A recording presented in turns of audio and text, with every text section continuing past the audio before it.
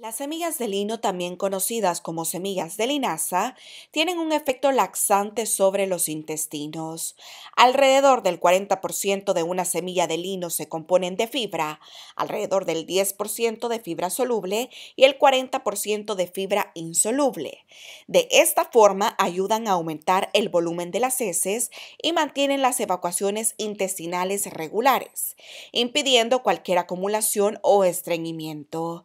También son una buena fuente de ácidos grasos omega 3, que son muy importantes para la retención de líquidos en el intestino y la salud general del sistema digestivo. Además, un componente de la fibra de la semilla de lino es una sustancia gomosa que agrega volumen a las heces y las ablanda. Las heces más blandas son más fáciles de pasar y menos propensas a crear o empeorar las hemorroides. Las semillas de lino tienen una cubierta exterior muy dura que las hace difícil de digerir.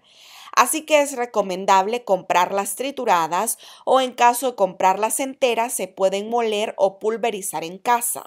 Se pueden encontrar fácilmente en tiendas de alimentos naturales y algunos supermercados. Recuerde que lo mejor es guardarlas en la refrigeradora para mantenerlas frescas.